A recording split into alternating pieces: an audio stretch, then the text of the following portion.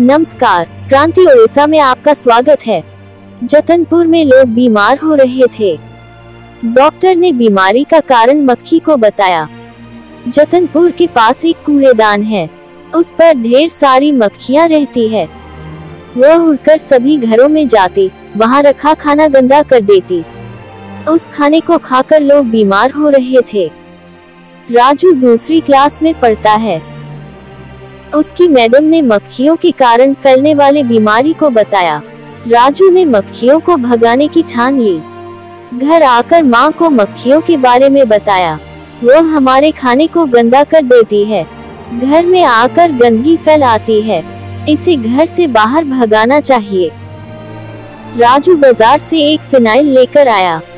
उसके पानी से घर में साफ़ सफ़ाई हुई। रसोई घर में खाना को डकवा दिया।